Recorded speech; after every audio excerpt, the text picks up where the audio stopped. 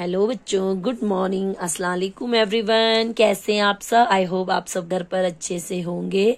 I whole heartedly welcome you to my Hindi class students तो हम आपकी book अंकुश हिंदी पाठमाला भाग टू यानी कि क्लास सेकंड हम आपका लेसन नंबर टेन जो है, वो पढ़ रहे थे लालची बंदर. हमने लेसन को पढ़ा, इसके क्वेश्चन आंसर भी किए. आज हम करेंगे इसके कविता में आ, कविता की जो पंक्तियाँ हैं उनको कंप्लीट करना और टिक क्रॉस ठीक है बच्चों?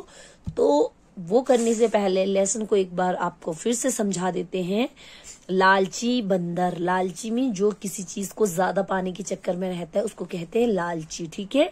अब इस बंदर को देखिए ये एक पेड़ के ऊपर बैठा है।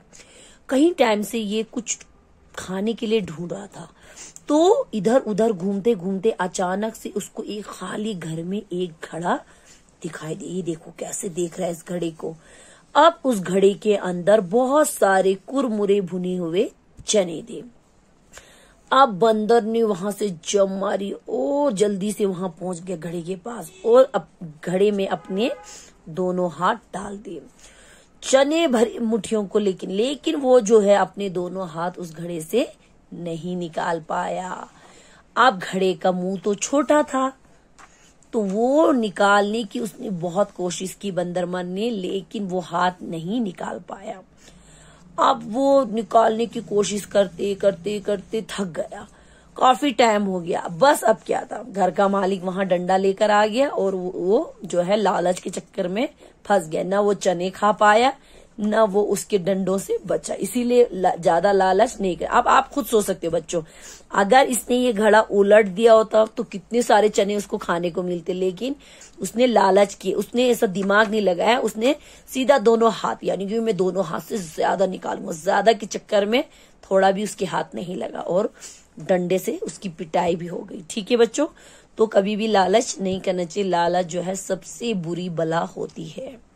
तो हमने इसकी क्वेश्चन आंसर किए आज हम करेंगे क्वेश्चन नंबर टू कविता की पंक्तियाँ पूरी कीजिए। कविता यानी कि पोयम्स की जो पंक्तियाँ यानी कि जो लाइनें हैं, इनको कंप्लीट करना है। तो मैंने यहाँ भरा है। आप लोग इसको कॉपी पे नहीं, इसको सेकंड वाले को बुक पे करेंगे। ये कॉपी पे करेंगे पहले, फिर क्वेश्चन आंसर फिर टिक क्रॉस करेंगे। ठीक है? बाकी सब आपको बुक पे ही करना है। घड़ा बहुत छोटे मुँह का था। हाथ निकलना पाते थे। घड़ा बहुत छोटे मुँह का था, हाथ जो है निकल नहीं पाते थे। इसको आपको भरना है बुक पे। और लालची बंदर मल से चने न छोड़ जा। अब वो लालची बंदर मल जो है, हाथ जो है निकालने की कोशिश नहीं कर रहा। अगर हाथ निकल जाए तो चने छूट रहे। वो चने नहीं छोड़ने के चक्कर में था। इसलिए लालची बंदरमल से चने जो है छोड़ी जाए इसको भी बुक पे भरना है। इसको आपको अपनी कॉपी पे करना है, ठीक है? क्वेश्चन नंबर थर्ड सही वाक्यों पर सही का तथा गलत वाक्यों पर गलत का निशान लगा जो सही है, उस पर टिक लगाइए, जो गलत है, उस पर क्रॉस लगाइए। इसको अच्छे से आप अपनी हेडिंग लिखकर फिर उसको कॉपी पे लिखना है। क, बंदर ने कोने में एक गिलास रखा देखा। क्या बंदर ने कोने में एक गिलास देखा था? नो ये क्रॉस है, क्योंकि बंदर ने कौन, कोने में एक घड़ा रखा, देखा था, ठीक है? घड़े में कुरमुरे चने थे। घड़े के अंदर क्या कुरमुरे चने थे? Yes, right. उसमें कुरमुरे चने थे। उसके बाद बंदर ने घड़े में दोनों हाथ डाल दिए थे। बिल्कुल सही, क्योंकि वो लालची था, इसलिए उसने ज़्यादा निकालने के चक्कर में अपने दोनों हाथों को घड़े में डाल दिया था। तो ये भी राइट है। कहा घर का मालिक बंदर मल डंडा लेकर आए। नो नो नो घर का मालिक बंदर मल नहीं था, घर का मालिक राम सुमेर था। तो ये भी रॉन्ग है। पहला रॉन्ग गलत, दूसरा टिक तीसरा भी टिक चौथा रॉन्ग ठीक है बच्चों? इसको आप अच्छे से अपनी कॉपी पे करेंगे। उसके बाद यहाँ पे देखिए भाषा ज्ञान। फ़र्स्ट सामान तुक वाले शब्द लिखिए, जो सामान तुक वाले हैं, जिनकी एक ही साउंड में जिनकी आवाज़ निकलती है, उसको कहते हैं। ठीक है, जैसे कि बंदर, पहला क्या? बंदर, अंदर। हो गया ना? बंदर, अंदर। एक ही तुक आ गया ना? घड़ा, कड़ा। घड़ा, कड़ा। इधर, उधर। डाल बाल। आया ना बच्चों, इसको अपनी बुक पे ही भरना है आप लोगों को, ठीक है?